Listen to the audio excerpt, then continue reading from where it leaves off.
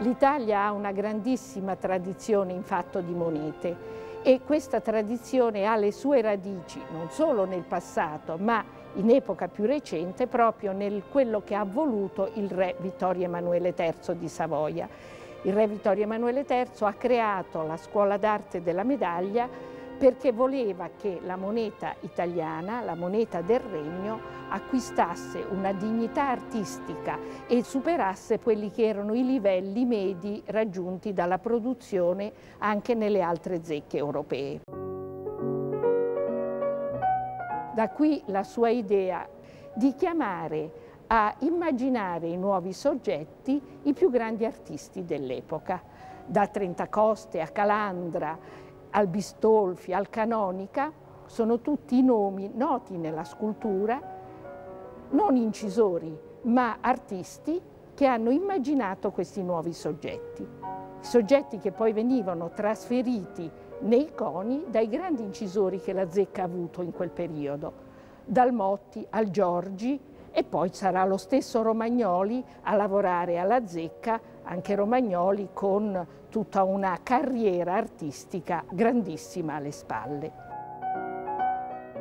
Tra i soggetti che hanno cambiato il percorso della nostra moneta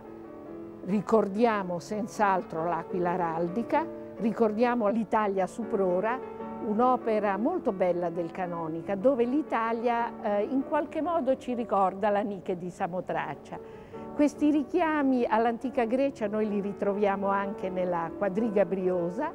questa quadriga che ha i cavalli non eh, rappresentati come al solito in maniera schematica e ripetitiva, ma veramente con un senso della spazialità eccezionale, considerando poi che sono soggetti per monete che vengono prodotte in serie e che quindi hanno tutti i problemi e tutte le difficoltà che comporta la produzione in serie di un manufatto. E poi abbiamo ovviamente una Dea Roma e una Italia che eh, si uniscono insieme per dare al nuovo Stato eh, prospettive di ricchezza, di prosperità, di commercio, tutto questo suggerito dalla nave ornata di festoni che è dietro alle due figure, di un gusto Liberty veramente straordinario.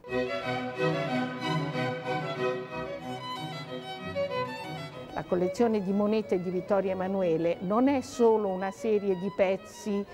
rari o di eh, particolare rilevanza artistica o di particolare rarità, ma è veramente un insieme di documenti che testimoniano anche la storia e la storia economica del nostro Paese.